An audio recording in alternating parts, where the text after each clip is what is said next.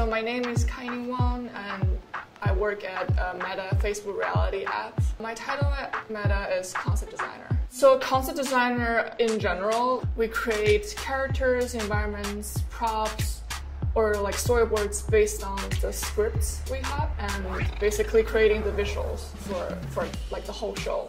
For concept artists to move from style to style, really know like the basic rules of that certain styles and like observing what other artists work be like is very crucial to like adjust to that project. Art Center and entertainment design majoring in, general helped me to learn the design principles and the design process is very crucial because you have to know that language or know how to make things work to design a thing. I would say like be humble. There's so many people out there that like you can learn from them.